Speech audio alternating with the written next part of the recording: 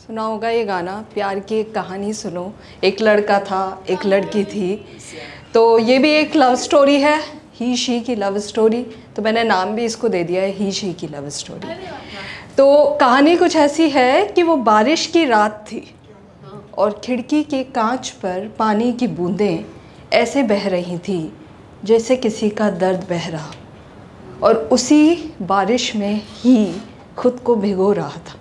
जैसे ज़माने से अपना दर्द छुपा रहा था। तभी एक आवाज़ ने उसका ध्यान अपनी ओर खींचा। उसने कदम बढ़ाया ही था कि पिछला हर मंज़र उसके आगे था घूमा। वो पेंटिंग की एक एग्जीबिशन थी जहाँ वो आया था। पेंटिंग का शौक़ तो नहीं था, पर दोस्तों ने प्लान बनाया था।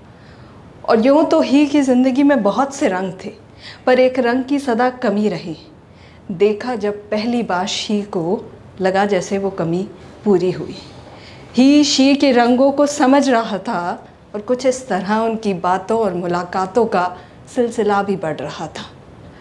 ही तो पहले दिन से ही शी का दीवाना था, लेकिन अब शी भी ही की दीवानी हो गई और शुरू ही शी की प्रेम कहानी हो गई। इसके बाद ज़माने ने उनके रिश्ते पर मोहर भी लगाई और उनके वैवाहिक जीवन की शुरुआत भी हो गई। लेकिन वक्त ने फिर एक तेज़ रफ्तार पकड़ी। ही की मसरूफियत और शी की तन्हाई कुछ बढ़ने लगी। शी ने पहले ही रंगों से दूरी बना ली थी। अपनी गृहस्थी को वो सवार जो रही थी। लेकिन रंगों ने उसे नहीं छोड़ा था, बल्कि इन तन्हाइयों में तो उनका रिश्ता और भी गहरा था। शी खुद को धीरे धीरे रंगों में रंग रही थी और आहिस्ता आहिस्ता उसकी भी मसरूफियत बढ़ रही थी। अब ही घर आता तो शी को नहीं पाता था। पहले देर रात घर तो आती, अब कई दिनों का फासला भी होता था। ही को शी की ये मसरूफियत खलने लगी थी और इसी एक बात से उनके बीच दरार भी पड़ने लगी थी। दरार गहरी हुई तो फासले बढ़ गए और दोनों ने अपने रास्ते भी अलग कर लिए। फिर दिन, हफ़्ते, महीने गुजरने लगे और एक दिन अचानक ही ही के कदम शी के घर की ओर चल दिए। घर जाकर पता लगा कि शी तो अस्पताल थी। मानो ही की दुनिया बेरंग होने लगी। और वहाँ अस्पताल में, दर्द में जैसे तैसे शी खुद को संभाल संभाल रही थी। ही के आने की जैसे राह सी तक रही थी। बस ही को देख उसके सब्र का बाँध टूट गया। दोनों भीगे थे उस दिन मोहब्बत की बारिश में।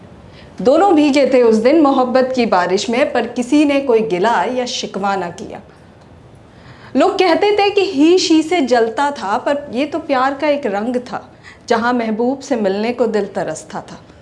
ही इससे अनजान थी तो शी भी ना समझ सकी, पर प्यार गहरा था तो दोनों के बीच की दरार एक नन्ही परी ने आकर थी भरी। ही ने शी को आँसू से माफ़ीनामा भी लिखा और ही की मासूम कोशिशों से शी का दिल भी अब पिघलने था लगा। और आगे एक बार फिर शी ही की दीवानी हो गई और शुरू एक बार फिर ही शी की प्रेम कहानी हो गई। Thank you guys